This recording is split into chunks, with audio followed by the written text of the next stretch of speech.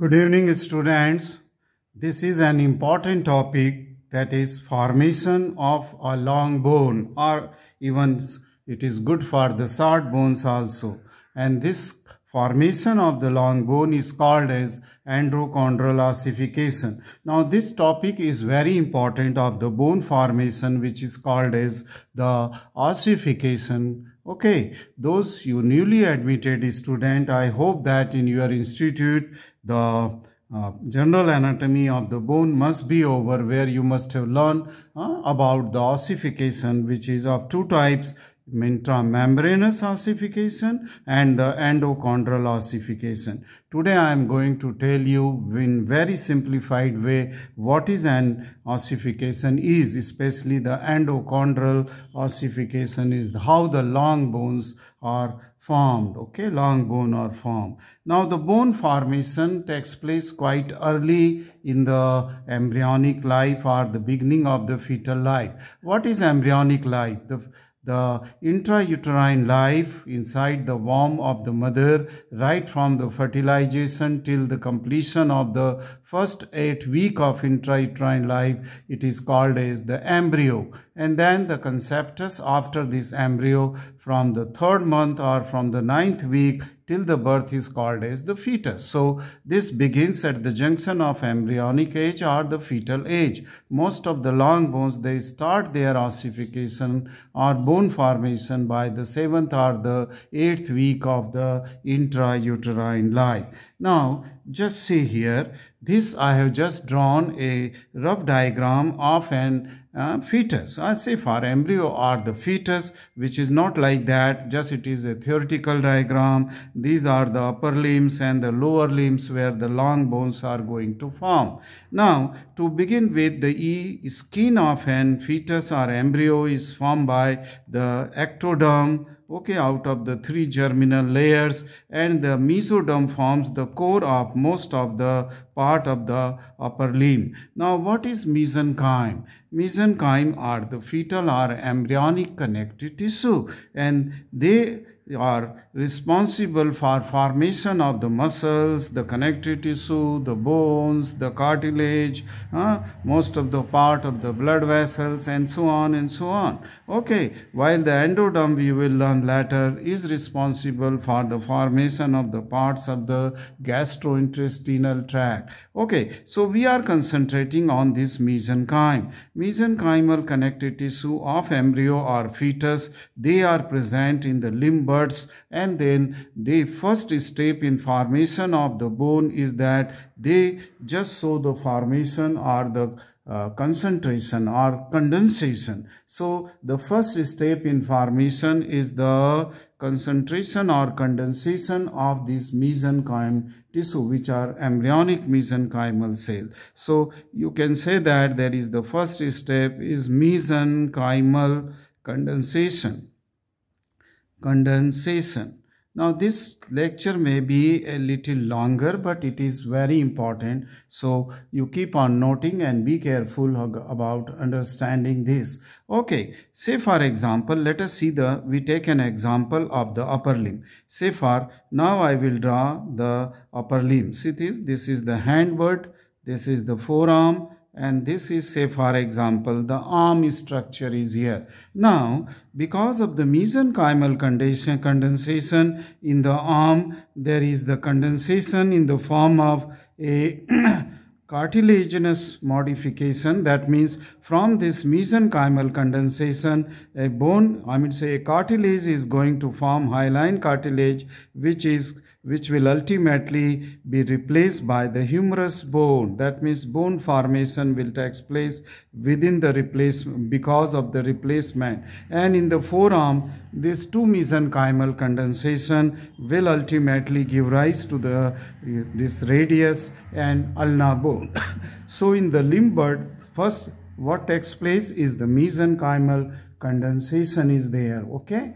Now Let us now see about the humerus. Say for example, this is the mesenchymal condensation where future humerus is going to form. And these mesenchymal cells of this condensation will ultimately will become or develop itself into the chondroblast. Okay? What is a chondroblast these chondroblasts, they are the cells which I am drawing here. They are the cells which are the cartilaginous cells. And they secretes the uh, fibers that is collagen fibers and the ground substance. A combination of the protein and the carbohydrate and the fibers are secreted by these cells the chondroblast.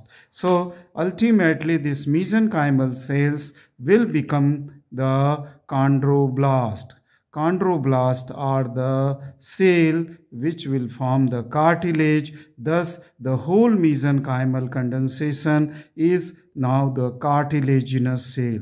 And this cartilage is a hyaline cartilage. And this hyaline cartilage which will ultimately will be the base for the formation of the bone in the arm and that is the humerus for example okay we have just taken one of the example all the long bones they will form like that so mesenchymal condensation condense the mesenchymal cell themselves change into chondroblast and chondroblast secretes the cartilage i mean say they secrete the fibers, collagen fibers and the matrix that is the ground substance and thus the whole model of a cartilage which is a hyaline cartilage is formed. now once the hyaline cartilage, a very tiny hyaline cartilage is formed, say for example, hmm, early in the sixth or seventh week of the intrauterine life. Um, bones, there is no long bone. All the long bones, they are in the form of the cartilage. That is the hyaline cartilage. So it is a hyaline cartilaginous model of the humerus is there by the seventh week of intrauterine life already formed when it is still embryo. Okay still embryo. Now once the cartilage is formed, a, outer membrane is formed on the surface of this cartilage and this I am representing with the help of let me represent with the help of the green color so you can differentiate it with that of the blue color of the hyaline cartilage. So I hope that you are seeing this mm, membrane will be covering to this hyaline cartilage and this membrane is called as perichondrium. Perichondrium. This is a fibrous and cellular membrane which covers the hyaline cartilage. A cartilage is avascular structure,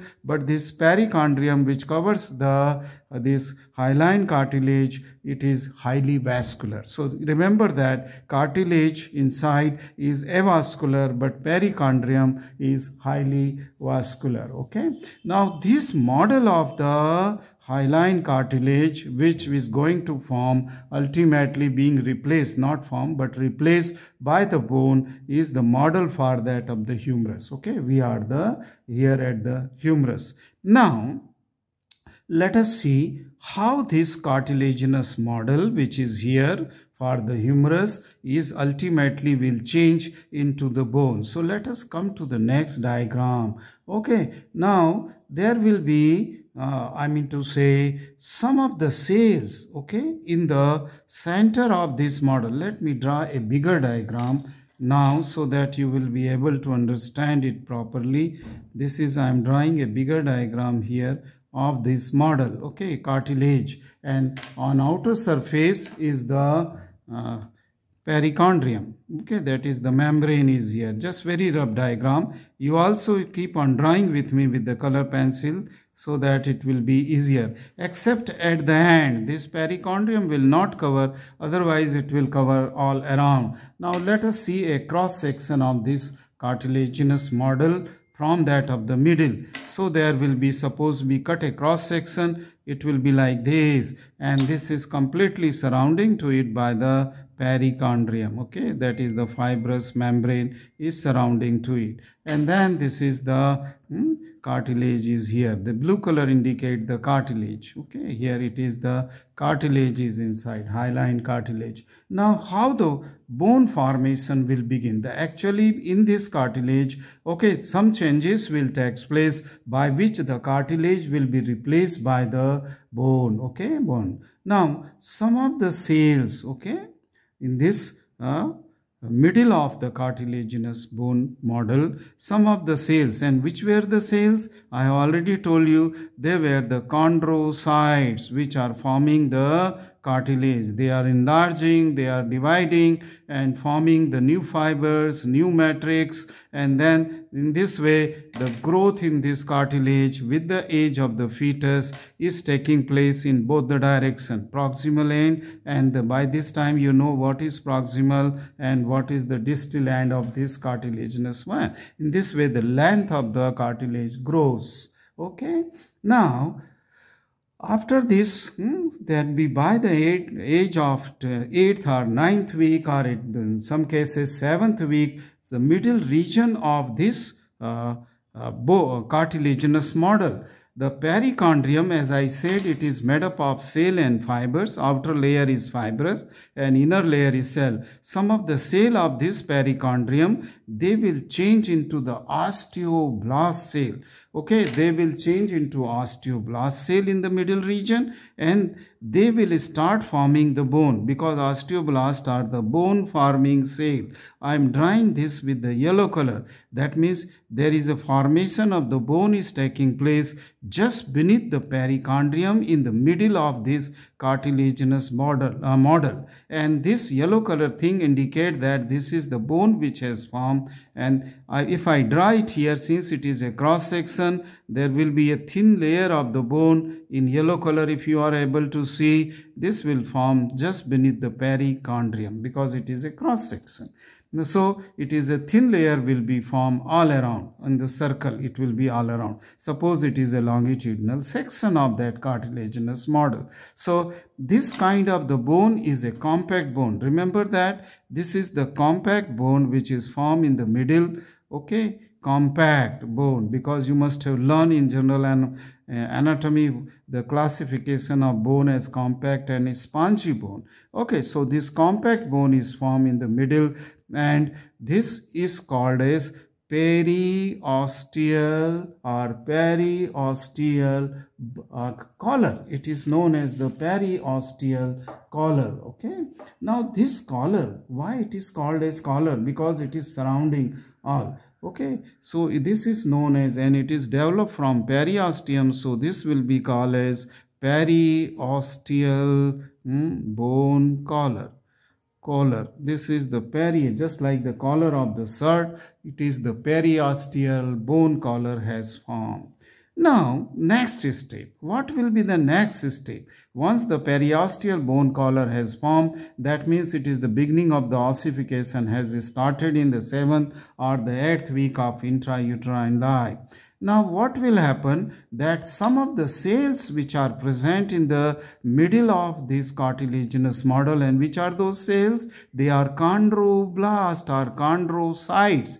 They will get enlarged. They will become large and this uh, chondroblast they are in the intercellular matrix which is formed by the mm, collagen fibers and the uh, intercellular substance. Okay that is carbohydrate and protein complex. And so these cells will become large and some of the cells chondrocytes will become so large that they will burst. And because of that the pH of this central portion of the cartilage will change and this will attract the calcium because the diffusion is bringing the nutrition and the oxygen to these cells because as I told you earlier cartilage is avascular. What is vascular was this periosteum that membrane covering to the perichondrium with the membrane covering to this cartilaginous model. So these cells here area will start becoming calcified central area and there will be the large cavity because of the death of the hmm, these chondrocytes. Okay? These chondrocytes death will lead to the large cavities or lacuna and they there will be deposition of calcium in surrounding intercellular matrix. Now the third step in the formation of the bone will be that some of the blood vessels which are in this perichondrium okay or membranous covering because it is highly vascular, it will grow so that periosteal bud. So the blood vessels will grow from perichondrium and they will come towards the center of this where calcified cartilage is present and while they are growing these blood vessels in the cartilaginous model here in the center of which they will bring along with that the chondro, I mean say the osteoblast cell. Osteoblast cells are, just note down, osteoblast cells are the bone forming cells. They are called as osteoblasts. Along with this will also bring some of the, I mean to say, cells which are present in the center of the cartilage okay? In the center of the i mean say which will bring into the growth along with them. Some of the cell will come from the perichondrium towards the center including the osteoblast cell. And those cells some of these which are phagocytic cells osteo uh, class cells which will eat away this calcium and then a new bone formation will begin in the center of this cartilaginous model and the center of this cartilage will become bony okay? But this bone since it is in the cavities on the wall of the cavities okay this bone which will form because of the periosteal i mean to say bud which will bring the osteoblast. The bone formation in the center which is here is called as the primary center of ossification. So this is how the primary center of ossification in the middle of the bone will begin okay and this is the first after periosteal bone collar this is the bone formation which will begin in the center but this bone will be in the form of the spongy bone. The periosteal bone collar was compact bone but the bone which is formed by the primary center of ossification will be that of the spongy bone.